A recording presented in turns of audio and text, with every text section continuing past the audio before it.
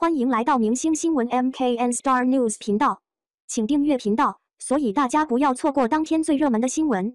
我们今天的时事通讯包括以下内容：热巴首次挑战孕妇角色，笑住说出一句话，导演脸都变了，太可爱了。相信最近很多小伙伴都有看迪丽热巴的《三生三世枕上书》吧？这部剧在还没播出的时候，就已经有很多小伙伴在关注了。毕竟剧可是十里桃花的姐妹篇妮，凤九和东华帝君的感情线也是在十里桃花里就有很多人喜欢了。而这次的枕上书也算是没让大家失望了。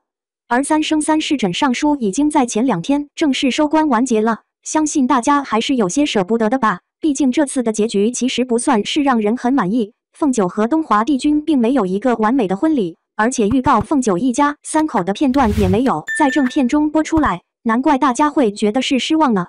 但是不说剧情，热巴在这部剧里还是做了很多的新挑战的，因为在后面的剧情里，凤九已经怀上了白滚滚，这可是凤九第一次挑战怀孕的角色呢。虽然热巴演过的角色是很多，不过孕妇还是第一次演呢。而且官方近日还放出了热巴怀孕的一场戏份。花絮里的凤九在人间开了一个饭店，做起了老板娘，而且还在柜子上畅快的吃起了东方呢。不得不说，真的是很可爱了。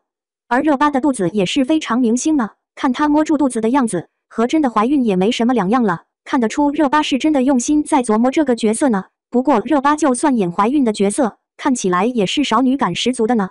而热巴首次挑战孕妇角色，虽然是在拍戏过程中。不过导演见她这可爱的模样，脸立马就变了，也忍不住笑了起来。因为这段是在试戏，所以热巴就一边笑住一边吃东西。但是吃到一半，东西就掉了，于是热巴也忍不住感慨：怀了孕就是不方便，吃个果子都要掉下去了。热巴虽然是无意说出来的，不过也是道出了真相呢。怀孕后的女生真的是非常辛苦了，一些小事做起来都是很困难的。要知道，热巴现在还只是演的呢。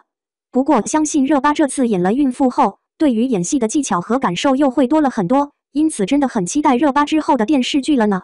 除了导演被他逗乐了之外，整个剧组的人员都被他搞笑的动作逗乐了。迪丽热巴果然非常可爱，不仅吃东西可爱，说句话都能这么幽默，真是想让人不喜欢都难了。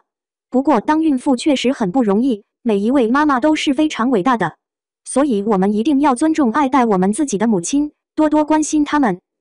感谢您观看视频。请订阅我们的频道以支持我们。